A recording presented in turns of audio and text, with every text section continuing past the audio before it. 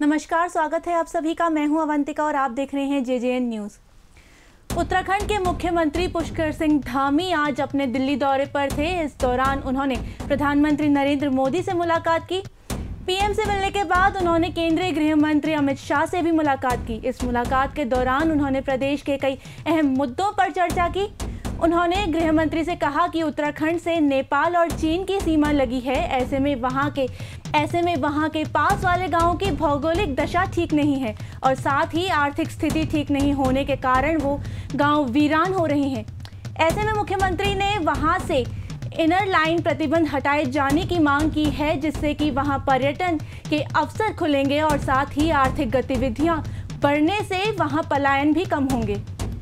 इतना ही नहीं, उन्होंने केंद्रीय गृह मंत्री से चमोली ज़िले के नीति घाटी और उत्तरकाशी के नेलोंग घाटी को इनर लाइन प्रतिबंध से हटाए जाने के प्रस्ताव पर भी विचार करने को कहा है।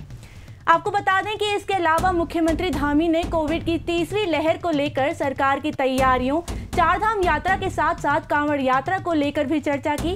साथ ही उन्होंने प्रदेश में दो एयर एंबुलेंस ग्रीष्मकालीन राजधानी गैरसैंण में आपदा प्रबंधन शोध संस्थान की स्थापना के साथ ही आपदा में लापता हुए व्यक्तियों को मृत घोषित किए जाने का भी अनुरोध किया है।